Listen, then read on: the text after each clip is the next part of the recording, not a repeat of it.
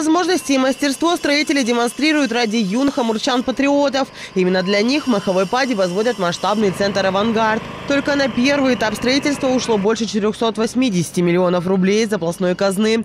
На эти средства создают КПП, площадки для единоборств, воркаута, хоккея и мини-футбола, настольного тенниса, волейбола, баскетбола, стритбола, строевой пласт с трибуной, полосы препятствий и тактические поля. Последние предназначены не только для стрельбы. Также учат юношей передвигаться по тактическому полю вместе с оружием, без оружия. Вот, и с применением, допустим, э, лазертак. Вот. Так, это все предусматривается. Вот. Есть также нормы передвижения тактических, по тактическому полю. Двойками, тройками, отделениями. Это все предусмотрено согласно нормативу по тактической подготовке. Второй этап строительства, как рассказали полпреду президента Юрию Трудневу, включает возведение двух жилых модулей для курсантов, пищеблок, учебный корпус, прачечную, культурно-досуговый центр и общее благоустройство. Второй этап заканчивается проектирование в декабре. Есть поручение президента о поддержке со стороны Министерства просвещения Российской Федерации.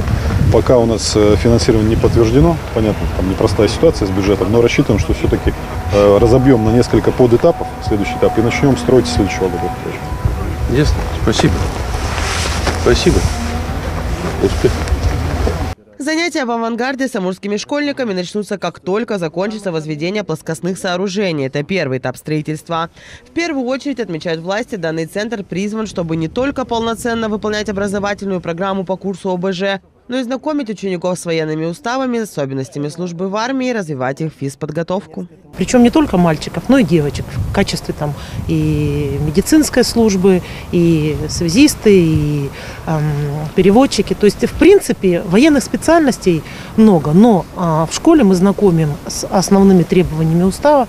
И что самое главное, мы должны донести ребятам, это конституционную обязанность и почетное право охранять свое государство. Когда все работы два этапа полностью завершатся, «Авангард» сможет работать круглый год и за 12 месяцев принимать до 4000 школьников. Вообще же центр станет одним из звеньев в системе военно-патриотического воспитания в регионе.